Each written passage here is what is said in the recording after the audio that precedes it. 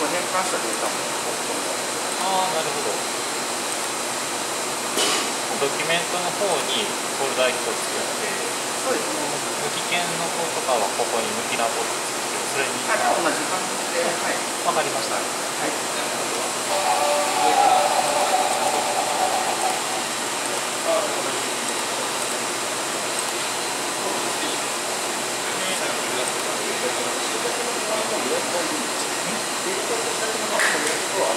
あげるというか連絡とあの記録しようのは必要だとそうなんだはい。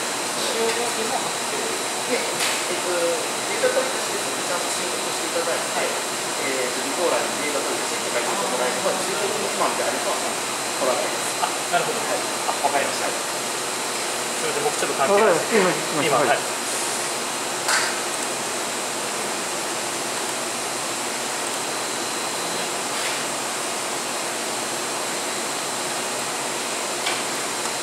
あ、のドキュメントの方にフォルダ作ってもらって、で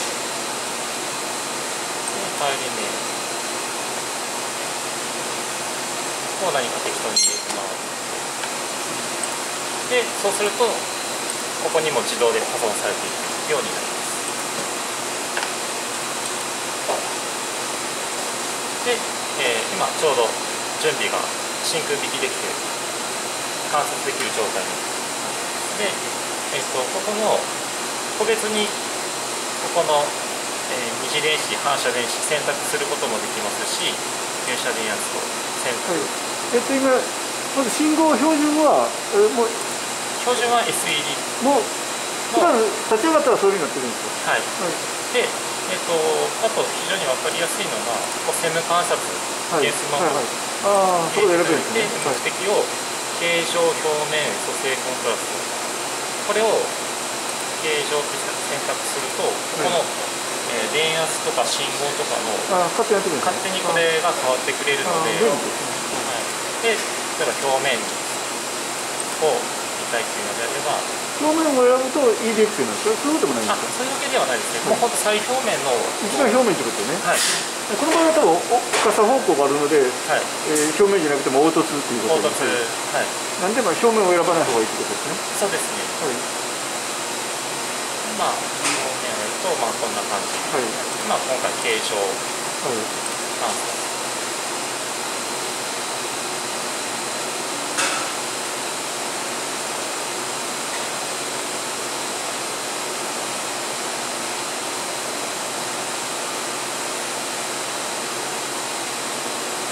ジすると加速電圧が変えてくれるんですかどどうなんですか加速電圧は、えっとまあ、手動でも変えることができますし、この目的によって加速電圧は勝手に変わってくれます、でこれ視野の、えー操作スキャン速度速いと、あとゆっくりと。はい。いうので画像を確認するときはこのゆっくりにしていただけると鮮明な画像がはい。見ることができます、まあ、基本的には速いで、と、いろいろ。でもそうか向こう見て回すつまみはないんですね外側にね、はい。でステージの移動はここの矢印下に行くと矢印が出たりあとはクリックして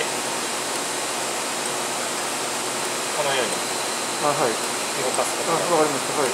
で倍率はマウススクロール。はい。ここでくるくる。あはい。あ便利ですねはいはい、動かすこともできます。でで場合になるとこう全体の写真がはいて見たいところ例えば端っこの方が見たいというのであればここをダブルクリックするとはい資料がはっきり。で近づくとこのように端っこの方はい。あわかりましでまあこの中でもダブルクリックすればそのそれが中心に。たはい。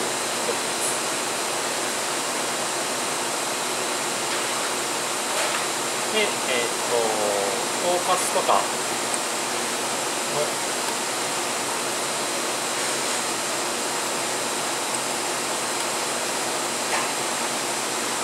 まあ、倍率を上げていって、まあ、繊維の一本一本見たい、はい。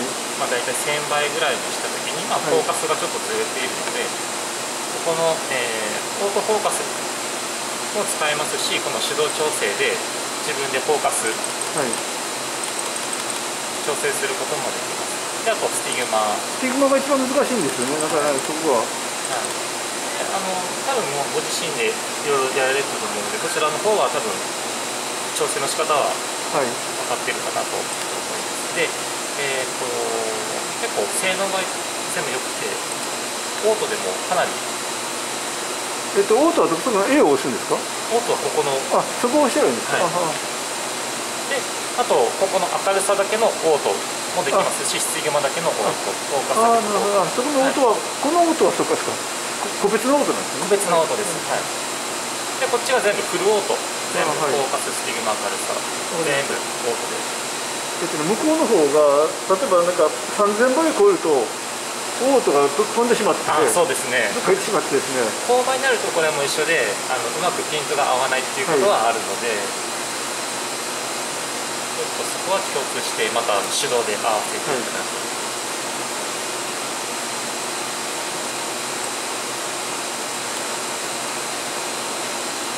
7000倍ぐらいまでちょっと合わせて、これ一回オートでえっとワーキングディスタンスって言って資料と、えー、検出器の距離あーがちょっと近いので、えっとすごく鮮明に見えやすい、はい。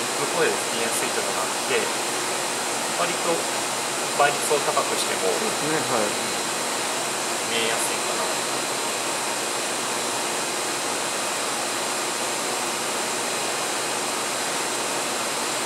で今7000倍ぐらいで。はい。と、まあ、このぐらいまではオートで。はい。まあちょっとですね。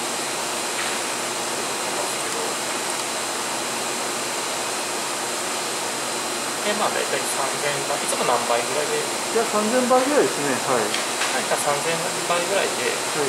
まあ、あの7000倍でフォーカス合わせてるので、これで写真をここでクリックすると、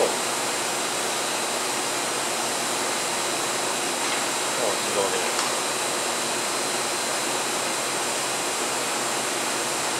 パシャリとはい撮ってもらいますで撮ったデータっていうのがドキュメントで作っていただいたフォルダに、はい。これ今何 JPEG にしたんですよ何したんですか PV にしたんですかえーとこれがこ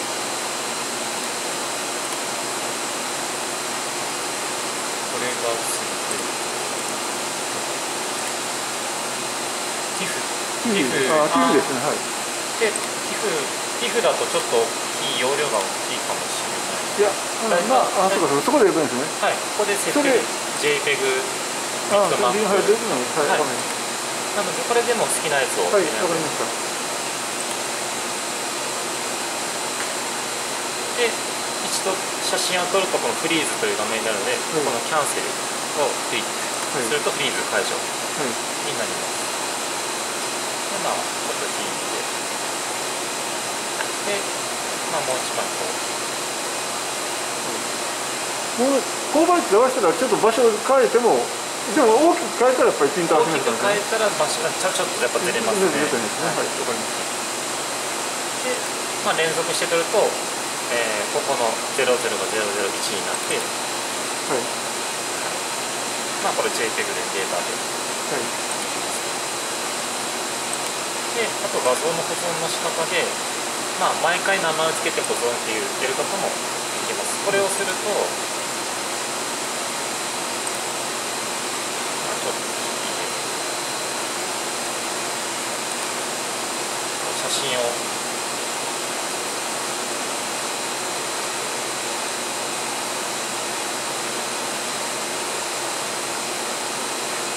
この時にこのようにまたフォルダーを。はい。でその時はもうフォルダーも探さなきゃいけないってことそうなんです。あちょっと古いですね。はい、でまあ一応一個一個資料ごとでこう名前を付けて保存したいなってんであればこのな毎回名前を付けて保存っていうやり方もわかります、まあ楽なのはこっちですね。すね。名前を自動で付けて自分の指定したフォルダに自動で保存する、はい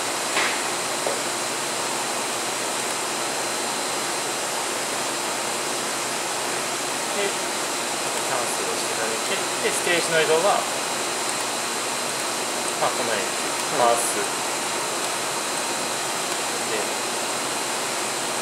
こう引いて、まあ、この操作のこうやり方は、まあ、まあそんなに難しくはないかなとは思います。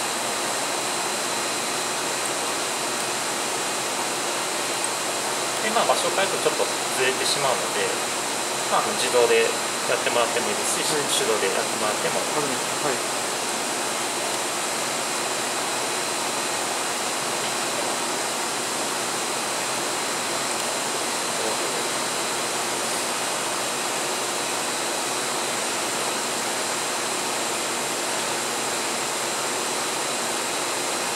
結構まあその水源とかフォーカスを合わすのが苦手だっていうのであればオート全然使ってもらってそう。ですねはい。はい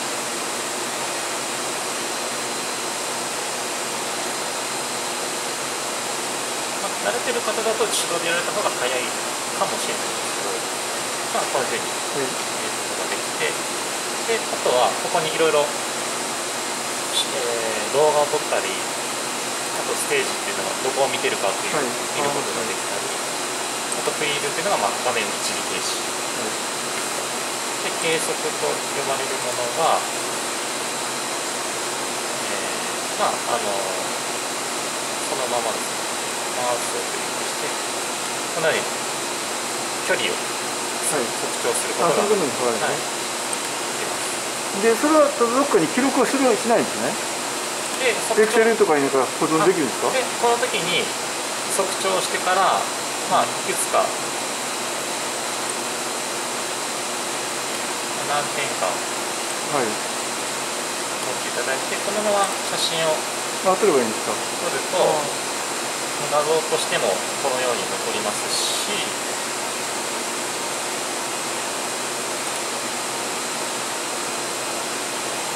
エクセルでこのように。あ残してくれるんですか？はい。あえそっか？えらい賢いやつ助かりますねこれ、はい、でこれ123でああこそうです。れ便利ですね。なんかちょっとね。なのでいちいちこう写真を見見返す。そうですね。今までイメージジかなんか別のやつで使ってたので、はい。でこれでもうすぐできるので、はい。でまあこれをまた全削除して、まあ、また違うところを、はい。ああ、ーはい。この手動をやってもらってあそうここが色がついてるとそのモードがあなってしまうので。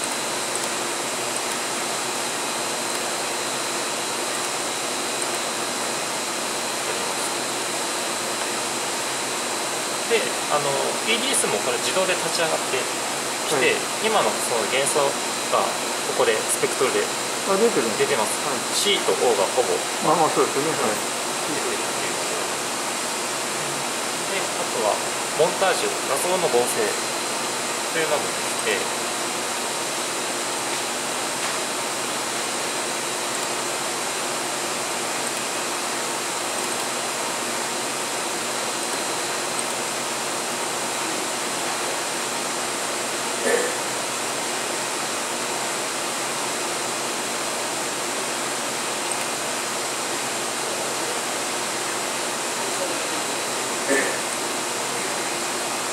例えばこういうふうにエリアを絞って、え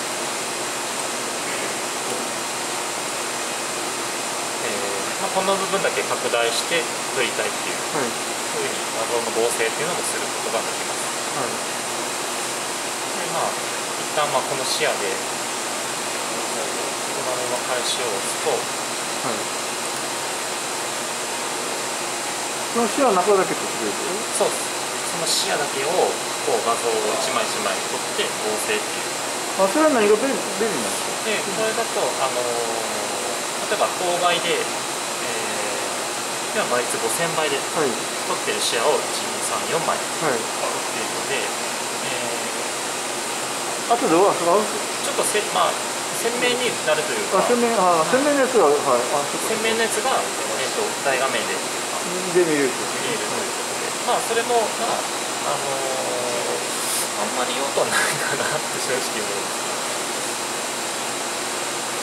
まあ、画像合成はいで、大きな画像する、ね、はい鮮明な大面積作ってそうですそうです。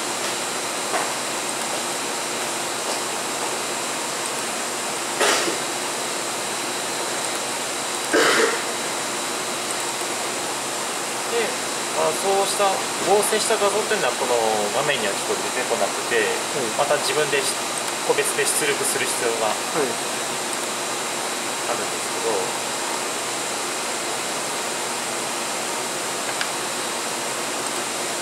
でここのデータ管理というところに今日取ったデータの一覧がはいできます。でこれはあのこのソフト上のデータで見ることができるファイルになっているのでセーブの写真とかは個別で残りますしこういった全体の写真もはい。残ります。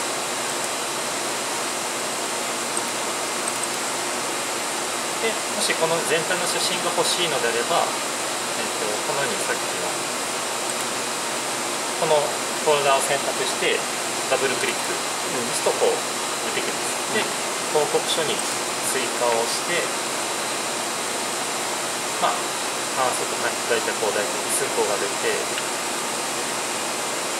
で、えーワードとかパワーポイントで出力することがはい。PDF とか。なので PDF で、まあ、これだとちょっと自分でまたフォルダを